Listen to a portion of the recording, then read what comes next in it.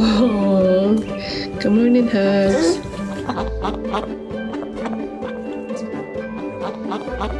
Opal and her have had a connection from the very beginning. Let's see, what did you find? A duck.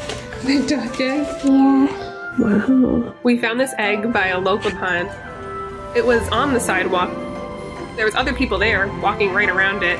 Don't touch the egg, don't touch the egg. A number of people there actually told me that is a place where domesticated ducks are often dumped. A couple hours go by and we come back and the egg's still there. It doesn't have a mama. Maybe it's a rescue You think we should rescue it? And so we take the egg home. We got our egg nice and tight. Yeah. Okay, we gotta get the flashlight, right? Okay. So we take a flashlight and there's like a tiny little dot in the middle. Eventually we see like a peck in the egg and I'm like, it could be any day now. Hi, Starlight! She's here, look at her! Hi, sweet girl! She's taking her first steps. To see Starlight outside the shell and to like nurture it all the way through was just like the most exciting thing ever. She gonna get you. You know, they love reading together. They love playing together. Hi, Starlight. and it's just the cutest thing ever. I started doing more and more research about having ducks, and I ended up finding out that they still need other ducks around for them to thrive. so we adopted two other ducks from a local rescue.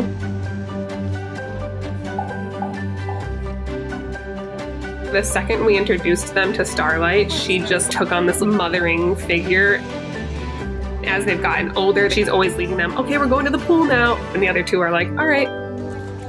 Everyone's in the pool. They'll pick up water on like the back of their wings and they'll like flap it off and it splashes Opal and she just thinks it's so funny. We make sure that their environment is like enriching and nourishing. Opal has gained so much confidence. They're all equally loved by Opal. They're all Opal's babies. Giving hugs to all your babies. Opal has been the most caring, loving little mom that you could ever imagine. What are you doing out here in the rain? Oh, how sweet.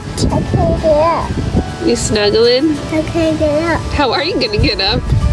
You, you know, please. Just sit on my lap and give a baby. Yeah, they sat on your lap. now she's sitting on your lap now as a big girl, huh?